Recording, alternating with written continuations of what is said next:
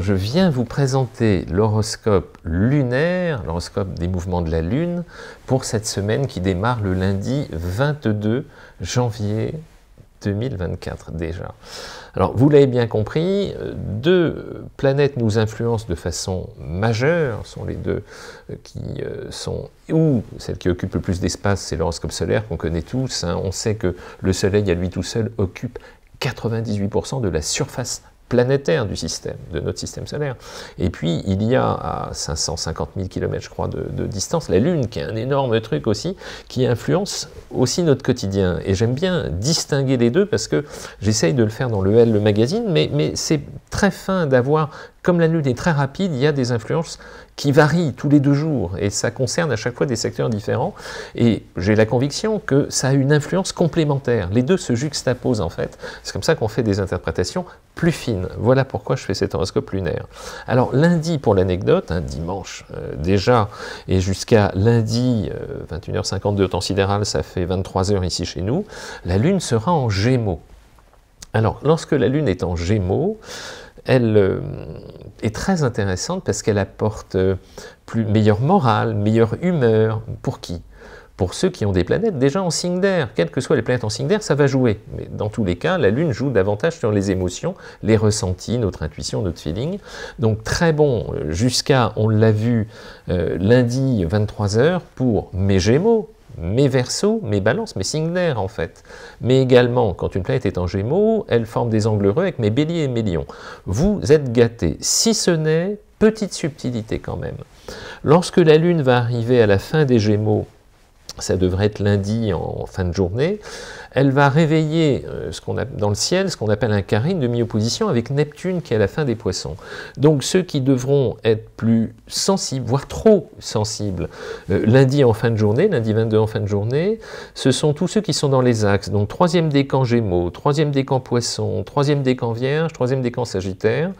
Si lundi fin de journée vous êtes beaucoup plus sensible à ce qui se passe, les informations qui vous parviennent, c'est normal. Essayez de trouver la juste distance.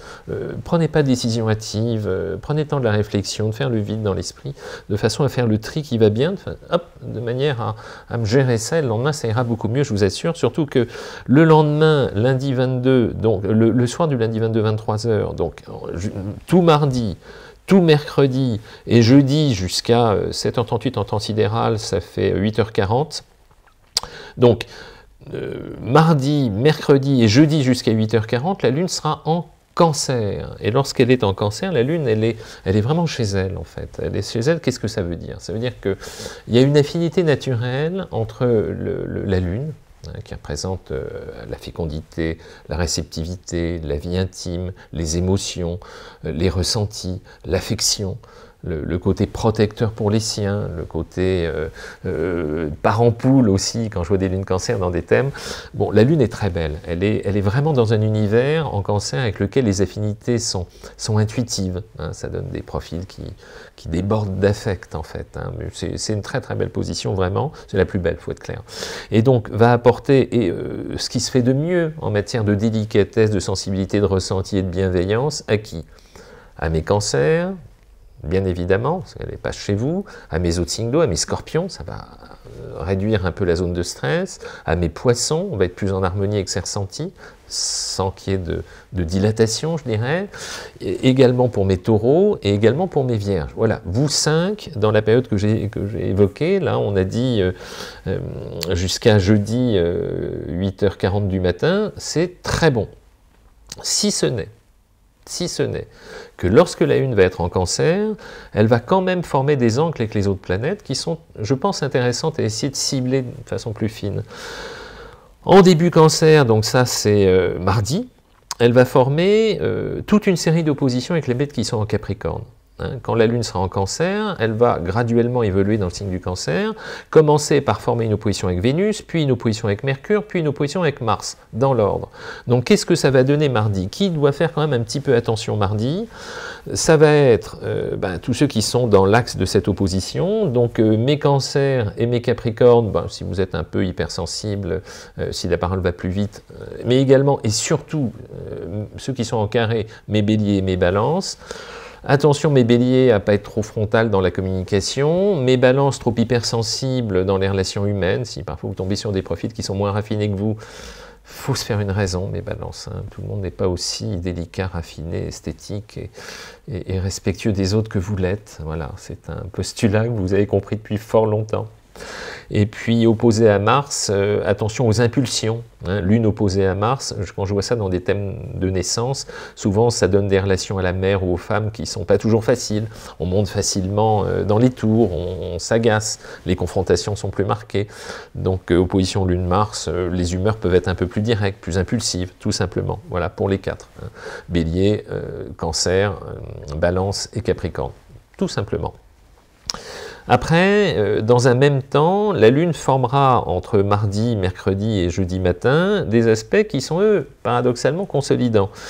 Euh, quand la Lune sera en début cancer, donc ça c'est mardi matin, euh, un trigone avec Saturne, donc les émotions bien canalisées. Un trigone par la suite, je pense que c'est mercredi avec Neptune, euh, une intuition particulièrement fine, hein, et un sextile avec Jupiter. Alors ceux qui bénéficient des belles influences pendant cette période-là sont les mêmes de ceux dont je parlais au départ, les protégés. Mes taureaux, mes poissons, mes scorpions, mes cancers, mes vierges, voilà, tout ça, ça se passe plutôt bien pour vous. Hein. Mais c'est un équilibre à trouver quand il y a des, aspects contradictoires. Il faut anticiper le bon, s'appuyer dessus et limiter la casse sur ce qui est un peu plus aspérité, tout simplement.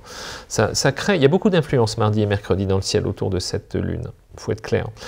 On arrive à jeudi. Jeudi, la lune entre en lion. La lune entre en lion, elle prend de la flamboyance. Elle y restera, elle arrive, je vous ai dit, 7h, hein, 7h38, ça fait 8h. 8h40 du matin, jeudi, la lune entre en lion. Elle va former dans la journée une pleine lune dont je vais vous parler, mais lorsqu'elle entre en lion, cette, euh, euh, lune, elle réactive l'opposition, euh, la, la, conjonction soleil Pluton qui est en début verso. Donc c'est une pleine lune qui est quand même assez aiguë. Il faut être, faut être, lucide là-dessus, euh, parce que j'ai dans le ciel donc une opposition Soleil-Lune, conscient-inconscient, et dans la zone d'influence, dans ce qu'on appelle l'orbe, hein, à 3-4 degrés près, j'ai Pluton qui est là. Pluton, il est toujours générateur d'anxiété, de stress, etc. Donc qui doit faire attention sans plus, hein, il n'y a pas de drame, hein, il n'y a pas le feu au lac, comme disent nos amis suisses. Il y a une tension dans le ciel qui va s'exercer sous forme de fatigue, de nervosité, d'agacement. Euh, dans l'axe, euh, premier décan verso, premier décan lion, premier décan taureau, premier décan scorpion. Vous quatre, vous êtes les plus exposés de toute la semaine, il faut être clair. Donc autour de jeudi, soyez zen, soyez euh, particulièrement attentifs à essayer d'éteindre les incendies plutôt que de les alimenter, en clair. Pas de décision hâtive, pas de prise de position tranchée, pas de brusque bouleversement, pas de soudaine envie de tout envoyer balader. Euh, levez le pied, levez le pied, abordez tout ce, que vous, ce à quoi vous serez confronté avec un pied léger, dirais-je, parce que c'est ça qu'on gère mieux Pluton, et on ne se laisse pas déborder par les, les inquiétudes, les stress, les angoisses, tout ça c'est complètement éphémère, c'est passager. On ne prend pas au pied de la lettre euh, les agacements euh, auxquels on est susceptible de donner prise en temps normal, là c'est un peu plus aiguisé, et puis ça se passe très bien, rassurez-vous, c'est un aspect particulièrement rapide. Voilà, c'est dit. Jeudi, cette pleine lune, hein, je vous la refais, elle est très précisément dans le ciel, euh, donc jeudi 25 janvier, à 5 degrés du lion pour la lune, 5 degrés du, du verso pour le soleil, et elle se réalise très précisément à 17h55 en temps sidéral.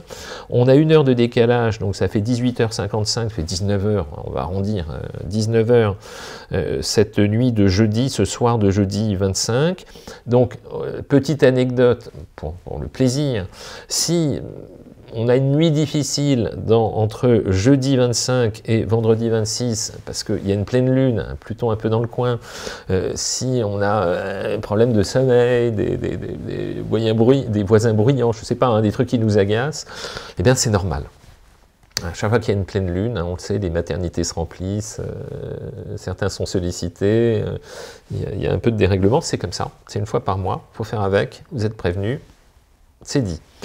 Et puis le ciel évolue, et puis après, une fois que la Lune euh, s'implante bien en Lion, eh bien, elle va réveiller un petit carré avec Jupiter, donc les émotions aussi variables, j'avais l'oublié celui-là.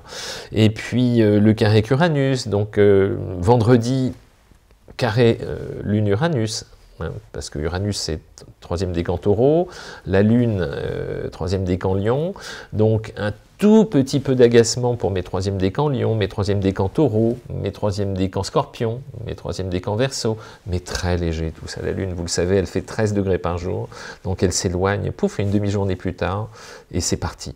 Voilà, et on passe à autre chose. Et puis enfin, on arrive à samedi, et samedi, la Lune rentre en Vierge. Donc, euh, en fait, très précisément, euh, la Lune entre en Vierge, euh, oui, samedi à 19h12 en temps sidéral, fait 20h, 20h10 en gros ici. Samedi soir, la Lune entre en Vierge. Elle est, elle sympathique, la Lune en Vierge. l'aime bien, moi, la Lune en Vierge. Pourquoi? Et elle y sera jusqu'à lundi 30 à 8h05 du matin en temps sidéral, là encore. Lorsqu'elle est en Vierge, la Lune, elle devient beaucoup plus rationnelle, beaucoup plus maîtrisée. On dit, euh, la Suisse, c'est la Vierge. La Vierge, c'est la Suisse. Hein, tout est calculé, tout est paramétré, euh, euh, on ne fait pas de bruit, on, est discret, on, est sobre. Hein, surtout au niveau de, tout ce qui est auditif. Hein. Je vous assure que si vous laissez, si vous faites du bruit le soir là-bas en Suisse, on vous fait comprendre qu'il vaut mieux faire moins de boucan. Très clair. Et la lune en vierge a d'autres effets, elle nous rend beaucoup plus pratique d'instinct. L'instinct la lune pratique la vierge, débrouillard, organisé, rationnel, communicant, grand besoin de communiquer, mais lune en vierge. Donc cette lune en vierge va certes former une opposition avec Saturne, donc ne me travaillez, si, vous appartenez euh, premier décan de la vierge, premier décan du Sagittaire, premier décan des Gémeaux, premier décan des Poissons, lune opposée Saturne euh, va euh, vous rendre encore beaucoup plus et sensible au besoin d'être rassuré sur les sentiments qu'on vous porte, lune Saturne. Mais c'est très passager encore une fois, parce qu'en parallèle, pendant tout le week-end, vont se réaliser autour de cette lune en vierge de très belles influences avec les planètes qui sont en Capricorne, avec Mercure, avec Vénus, avec Mars. Donc tout ça est très bon, très bon pour qui? Très bon week-end à partir de samedi pour mes signes de terre et mes signes d'eau. Très bon pour mes vierges, mes capricornes, mes taureaux, bien évidemment, globalement mes poissons, surtout très bon pour mes scorpions et mes cancers. Voilà l'idée, comment bien terminer la semaine. C'était cette série d'influences sur la Lune que j'essaye d'affiner, d'affûter au jour le jour. Comme ça, ça donne un éclairage plus, fin, plus subtil sur les influences de tout ce qui nous attend et qui viennent se cumuler. Et, il faut avoir en tête, lorsqu'on fait du prévisionnel, euh, plusieurs notions. Lorsqu'on s'efforce de faire du prévisionnel, c'est impossible dans le cadre d'un horoscope collectif comme celui que je fais là, parce que chaque situation laisse apparaître un nombre infini de variables et de subtilités qui sont liées à l'état d'esprit, au contexte de vie, à l'expérience, au vécu. C'est tellement multifactoriel qu'on ne peut pas faire ça. Dans un horoscope, c'est antinomique. Mais il n'empêche que dans tous les cas, les influences qui s'exercent autour de nous, bien analysées, bien paramétrées, permettent de quoi D'optimiser au mieux euh, ce à quoi on est confronté d'un point de vue planétaire. Et ça reste quand même l'objectif, tout simplement l'objectif. Il est humble, mais c'est un petit apport que j'aime bien. Voilà, je voulais vous raconter tout ça. Alors, comme on est dans le... Euh, je me suis pris au jeu de, piocher des citations sur les, les adorables citations que vous me faites parvenir par les messages que j'adore, que j'adore, dans lesquels je pioche allègrement et puis j'essaie de réutiliser. Et avec la Lune, l'intuition, j'en ai attrapé deux dans tout ce que vous m'avez écrit depuis euh, des semaines maintenant. Je les adore, hein, vraiment, vous me faites super plaisir. Une première citation, la Lune c'est l'intuition, et aussi sujet de l'intuition, je crois beaucoup dans l'intelligence intuitive, je crois beaucoup là-dedans parce qu'on est des mammifères, faut pas l'oublier, et puis depuis l'aube de l'humanité, on a euh, deux types d'intelligence, hein, l'intelligence solaire, analytique, euh, pragmatique, un QI, et puis on a l'intelligence lunaire, des émotions, des ressentis, euh, des intuitions. quand on dit je sens quelqu'un ou je le sens pas, c'est pas pour rien. Hein, c'est vraiment l'intelligence intuitive qui parle, et ça, c'est l'intelligence de la Lune. Et, la citation que je vais vous citer, c'est, oh, on est dans, le, dans, la veine, dans la logique, hein, elle est d'Elsa Triolet, et elle dit les hasards de la vie nous ressemblent. En gros, c'est pas le syndrome de la deux chevaux verte, mais, mais on est attiré intuitivement par ce qui nous aspire, ce qui nous motive. Hein. C'est, les hasards de la vie nous ressemblent. J'aime beaucoup cette citation, elle est très évocatrice dans mon esprit en tout cas. Et puis j'aime beaucoup l'inattendu des, confrontations euh, de la lune, de l'instant, de, de l'imprévu. C'est la surprise. Toujours très stimulant. Et l'autre citation que j'ai piochée, c'est « Le bonheur se glisse souvent par une porte que tu pensais ne pas avoir laissée ouverte. » Toujours laisser une porte ouverte à l'inattendu. Cette curiosité intuitive, il faut me la nourrir parce que c'est ce qui nous motive, ce qui nous fait vibrer. Voilà ce que je voulais vous raconter cette semaine autour de l'horoscope lunaire. Merci pour la gentillesse de vos commentaires, par vos likes, par vos, gentils messages, bien sûr, vos abonnements. Je suis très sensible à ça aussi. Ça me consolide au niveau de la, chaîne, c'est évident. Et puis, puis j'essaye de faire des trucs plus courts là sur Insta en ce moment. Mais, le, plus important, c'est ce qu'on fait là. Euh, je vous prépare plein de trucs encore pour cette année. Merci, merci, à très vite.